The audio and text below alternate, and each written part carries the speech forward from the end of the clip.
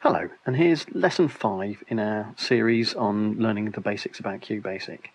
Um, well, we're going to learn today about the if and then conditional statement. So sometimes we want to execute one set of code, and sometimes, according to different conditions, we might to, might want to do something different. Well, the if and the then is a way of actually doing that. So before we do that, we can see we've got a little program written down here, um, and at the moment it's just got one real line of code. Input, type in your age. So I'm just going to press F5 and run this. And here we go. It says type in your age, and then it's got a question mark after it. Well, we don't actually want a question mark. If you think about it, that's not a question, it's just an instruction to type in your age. So I'm just going to close that down. And if we look carefully at this line of code here, it says type in your age, and I've left a space in there, and then it's got a semicolon. Well, if I change that semicolon uh, to a comma um, and type this thing in, um, and let's press F5 now, can we see the question mark has disappeared. So it's just said type in your age, and then it's left a space, and so I can type in my age seven, and press enter, and ooh, nothing very much happens there because there's no further code after this in the program. So let's um, just have a look and see what we can do next.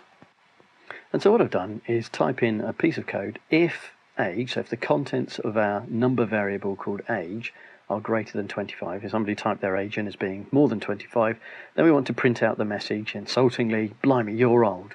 Um, so let's try running that now. So F5, in comes the message here. Type in your age, let's say 27, hit enter. It says, blimey, you're old. Excellent. Okay, so that seems to be working.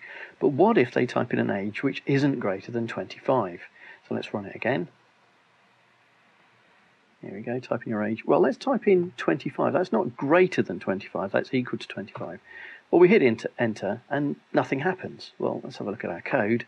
If age is greater than 25, then we're printing this.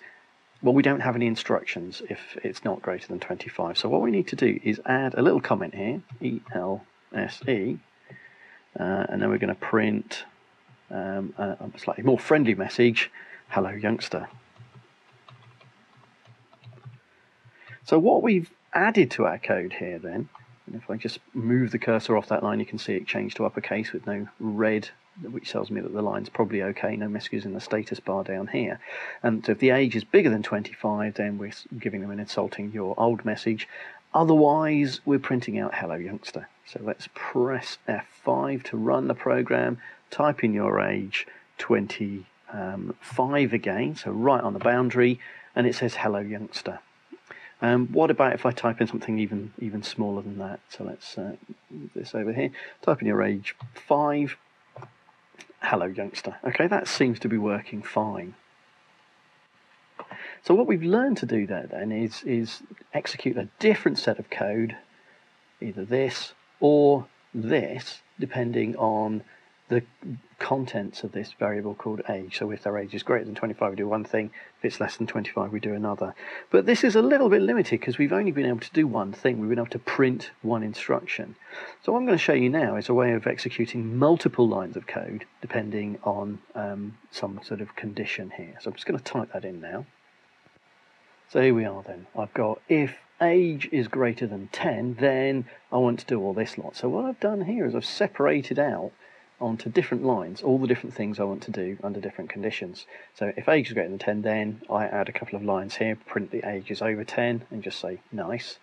Um, else if, so this else if statement here is, is saying, well, there's another set of conditions here. If the age is less than 5, then I want to do all this lot of code here. Okay, so print out age is less than 5 and yip you do. And then, so I can have as many of these else if statements as I like, so I can set up all these different conditions. And then at the end, to catch everything else, all the other conditions here, which is basically if the age is uh, not greater than 10 and not less than 5, then it must be in the range 5 to 10. Um, and we do this bunch of code here. So in, when it comes to testing this, life gets a little bit more complicated because we have to test lots and lots of different situations. So let's just press run and try the first one. So let's try the age 5. Now, what do we expect to happen here? Well, the age is equal to 5, so it's not greater than 10, it's not less than 5, so we're expecting that to fall through into this little group of code here and print ages 5 to 10 la-di-da. Okay, that's good, that seems to have worked. And let's run it again. And here it is. So let's go for 6 this time. So we're well into that group. We expect the same thing to happen. Yes, it does happen. Um, what if the age was over 10? So let's press F5, run the program. Um, let's say our age is 11. So we expect it to be picked up in here.